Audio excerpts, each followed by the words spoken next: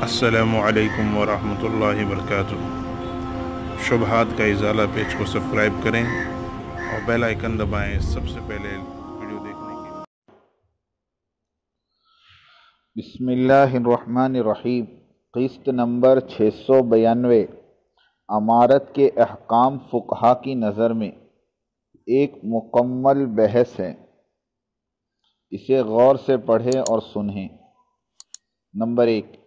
امام ابو حنیفہ رحمۃ اللہ علیہ کا خروج کے بارے نقطۂ نظر۔ نمبر دو، ظالم اور فاسق، امیر اور حکمران کے خلاف خروج کے بارے میں امام ابو حنیفہ کی رائے کیا تھی۔ نمبر تین، اس بارے میں حنفیہ کا اختلاف ہے۔ امام تحاوی کی کتاب عقیدت تحاویہ سے معلوم ہوتا ہے کہ امام صاحب کا نقطۂ نظر ظالم اور فاسق، امیر اور حکمران کے خلاف عدم خروج کا تھا۔ وہ لکھتے ہیں کہ یہ فقہائے ملت امام ابو حنیفہ، امام ابو یوسف اور امام محمد رحمہم اللہ اجمعین کے مذہب پر اہل سنت والجماعت کے عقائد کا بیان ہے اور یہ ائمہ حضرات جن اصول دین کا اعتقاد رکھتے تھے اور ان کو رب العالمین کا دین قرار دیتے تھے، اس رسالے میں ان عقائد اور اصولوں کا بیان ہے۔ اور ہم اپنے مسلمان حکمرانوں اور عمرہ کے خلاف خروج کو جائز نہیں سمجھتے، اگرچہ وہ ظلم ہی کیوں نہ کرے۔ اور ہم ایسے عمرہ اور حکمرانوں کے خلاف بدعا بھی نہیں کرتے، نہ ہی ان کی اطاعت سے ہاتھ کھینچتے ہیں۔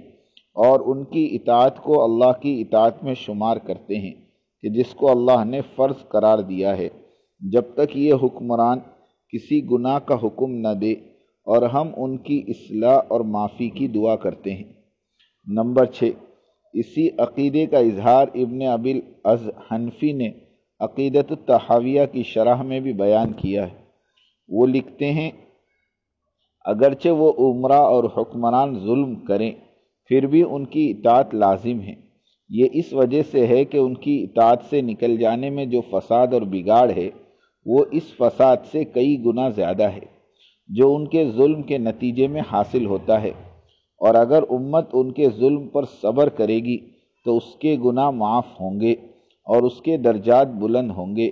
کیونکہ اللہ تعالیٰ نے اس ظالم حکمرانوں کو ہمارے اوپر، ہمارے اعمال کے بگاڑ کی وجہ سے مسلط کیا ہے۔ اور سزا عمل کے جنس سے ہی ہے یعنی امتیوں نے ایک دوسرے پر ظلم کیا تو اللہ تعالیٰ نے ان پر ظالم حکمران بطور سزا مسلط کر دیے۔ بس ہم پر لازم ہے کہ ہم توبہ اور استغفار اور اصلاح عمل کی خوب کوشش کریں۔ اللہ سبحانہ و تعالیٰ فرماتے ہیں، جو بھی تم کو کوئی مصیبت پہنچتی ہے، تو وہ تمہارے اعمال کا نتیجہ ہے۔ اور تمہارے بہت سے اعمال سے تو اللہ تعالیٰ ایسے ہی درگزر فرما دیتے ہیں۔ ایک اور جگہ ارشاد فرمایا اور کیا جب تمہیں ایک بڑی مصیبت پہنچی یعنی احد میں جبکہ تم اس سے دگنا مصیبت کفار کو بدر میں پہنچا چکے تھے، تو تم نے کہا، یہ مصیبت کہاں سے آ گئی؟ آپ کہہ دیں، یہ مصیبت تمہاری اپنی جانوں کی طرف سے ہے یعنی تمہارے اعمال کا نتیجہ ہے۔ اسی طرح اللہ سبحانہ و تعالیٰ نے فرمایا، جو بھی تمہیں بھلائی پہنچتی ہے، تو وہ اللہ کی طرف سے ہے۔ اور جو بھی تمہیں برائی پہنچتی ہے، وہ تمہاری اپنی جانوں کی طرف سے ہے۔ اور اللہ سبحانہ و تعالی نے فرمایا، اور اسی طرح ہم بعض ظالموں کا حکمران، بعض دوسرے ظالموں کو بنا دیتے ہیں۔ اس وجہ سے کہ جو وہ ظالم عمال کرتے تھے بس اگر رعایا حکمران کے ظلم سے نجات چاہتی ہے، تو وہ خود ظلم کرنا ترک کر دے۔ بریلوی اور دیوبندی مدارس میں عموماً عقیدے کی جو کتاب پڑھائی جاتی ہے یا بطور نصاب مقرر ہے، وہ شرع عقائد النصفیہ ہے۔ اس کتاب میں بھی علامہ سعد الدین تفتہ زانی نے ظالم اور فاسق حکمرانوں کے خلاف عدم خروج ہی کا عقیدہ بیان کیا ہے۔ امام محمد کی کتاب السیر الکبیر سے بھی یہ معلوم ہوتا ہے کہ ان کا موقف بھی ظالم اور فاسق حکمرانوں کے خلاف عدم خروج کا تھا۔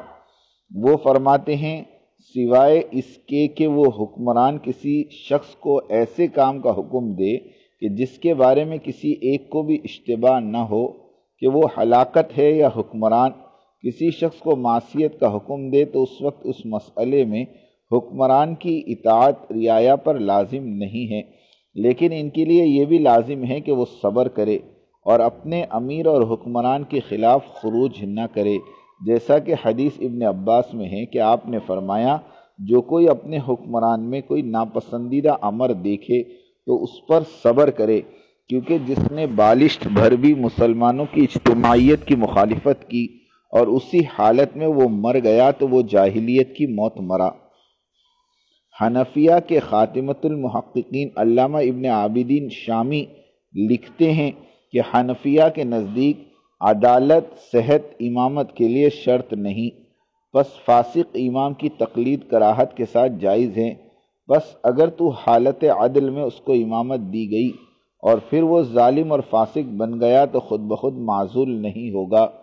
لیکن اگر فتنے کا اندیشہ نہ ہو یعنی اگر پرامن طریقے سے معذولی ممکن ہو، تو اس کو معذوم کرنا لازم ہے۔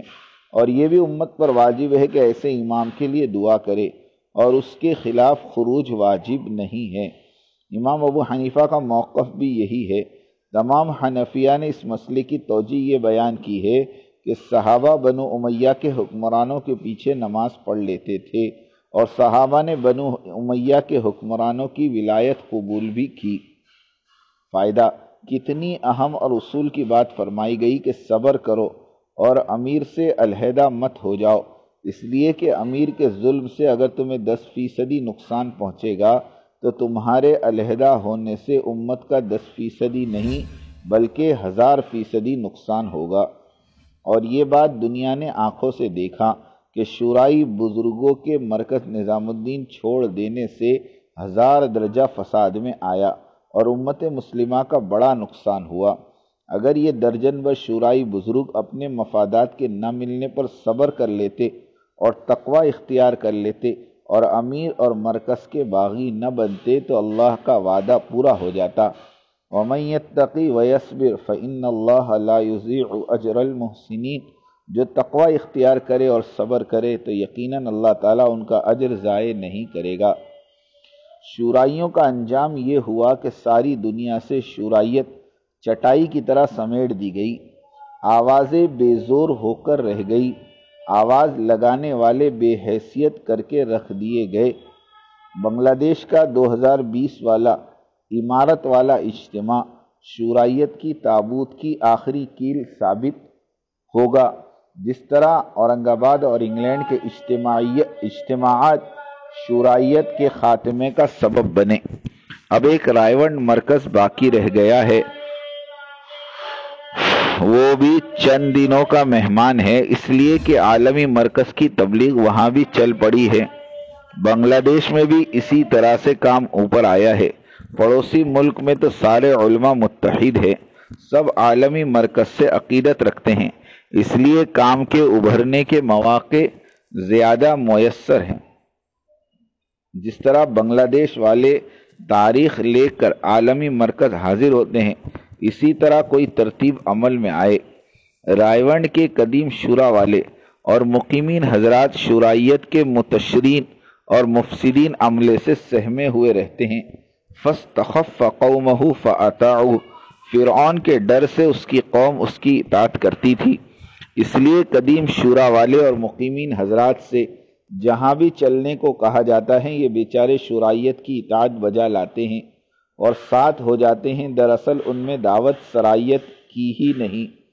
اگر دعوت دامن گیر ہو تو دائی بندوں سے ڈرے اور مرے یہ ممکن ہی نہیں۔ اپنے دائی ہونے کے جانچنے کا اعلیٰ ملامت اور خوف ہے۔ اللہ کے سوا کسی سے نہ ڈرا تو واقعی یہ دائی اللہ ہے۔ اور جس کی حالت اس کے برعکس ہو تو دعوتی کام اس کے پاس سے بھی نہیں گزرا۔ اور یہ خود کو دھوکہ دے رہا ہے اور سمجھ رہا ہے کہ یہ دائی اللہ ہے۔ ولا یخافون لومت لائم، کی یہی توضیع اور تشریح ہے۔ دائی ایک جواڑی کے مانند ہوتا ہے، جہاں اچھی چال دیکھی وہاں سب کچھ لگا دیا۔ اگر یہ رائے والے عالمی مرکز نظام الدین والی دعوت کو زندہ کرنے کے خاطر مرکز رائے چھوڑ دیتے اور سڑکوں پر آ جاتے اور اپنی چودراہٹ کو اللہ کے واسطے قربان کر دیتے تو ان کی اس قربانی پر اللہ سارے ملک کے لوگوں کو دعوتی کام پر کھڑا کر دیتا اور سارے ملک میں عالمی نہج کا دعوتی کام وجود میں آ جاتا۔ امت کی عموم میں شامل نہیں ہوں گے تو دعوتی ثمرات اور برکات سے محروم رہیں گے۔ فد خلی فی عبادی ود خلی جنتی مولانا عبید اللہ صاحب بلیاوی رحمۃ اللہ علیہ فرماتے تھے کہ عباد عموم اور عوام ہے اور جنت خواص کی جگہ ہے۔ خواص تک پہنچنے کا راستہ عوام سے ہو کر جاتا ہے۔ لہٰذا عمومی محنت ہی کے ذریعے خواص کی صفات سے مزین ہو سکیں گے۔ انبیاء اور صحابہ عوام میں رہتے بستے تھے۔ جو دائی بھی عمومیت کے بغیر خواص میں اپنا مقام بنا لیا، وہ تباہ ہونے اور تباہی لانے سے نہیں بچ سکا۔ شورائی گروپ کے تباہی کی یہی ایک سب سے بڑی وجہ ہے۔ کہ انہیں عمومی محنت اور اس میں رگڑے کھانا نصیب نہیں ہوا۔ تبلیغ میں آنکھ بھی کھولی تو خواص میں۔ جناب لاٹ صاحب کے بارے میں کوئی نہیں بتا سکتا کہ انہوں نے چند سال بھی عمومی محنت میں لگائے ہوں۔ پیدل جماعتوں میں دھکے کھاتے پھرے ہوں۔ اور کوئی بستی شہر، ضلع، صوبہ، ملک ان کی محنت کا محنت کی آماجگاہ بنا رہا ہو۔ یہی حال تقریباً سبھی کا ہے۔ بڑوں میں مولانا رحمۃ اللہ صاحب نے صوبہ مدراس کو کام پر اٹھایا۔ بھائی فضل کریم نے ہاد ہندوستان کو، مولانا انس پونا والے نے صوبہ مہاراشٹر کو، بڑے سعید بھائی نے صوبہ مدھیہ پردیش کو کھڑا کیا۔ ایسے سینکڑوں حضرات ہیں کہ جن کی قربانیوں اور للہیت نے ایسے نقش چھوڑ گئے کہ قیامت تک لوگ یاد رکھیں گے۔ ہم تبلیغ میں لگے ہوئے ہیں۔ اللہ کرے ہم کو تبلیغ لگ جائے۔